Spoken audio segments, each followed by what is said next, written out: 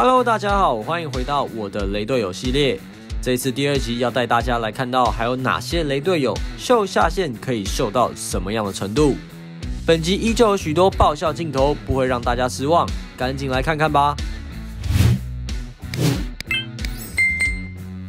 在拳击场上比的不只是拳法，还比谁的霸气比较强，凶到连对手的教练都敢打，当然对手也是怕你三分。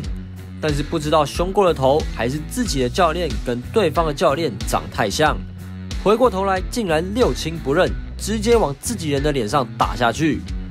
这大概就是俗话说的“扫掉红台位”吧。紧接着看到足球场上惨不忍睹的画面，这位身穿红色球衣的球员像是屁股装了火箭一样加速度回防，结果不仅没拦到球，让对手攻门成功，自己还撞上了门柱，而且。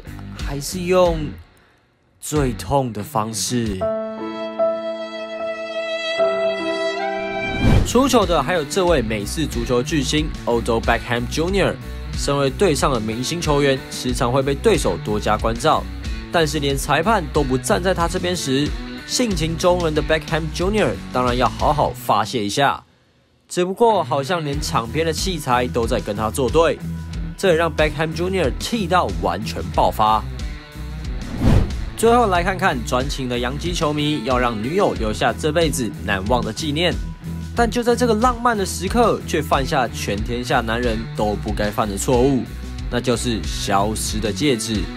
在场上的所有人急忙在地上展开地毯式的搜索，看着这一群人在瞎忙的画面，真的非常逗趣。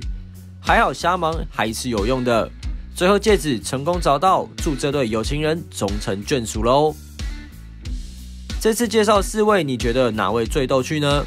欢迎在留言区留言。我的雷队友，我们下期见，拜拜。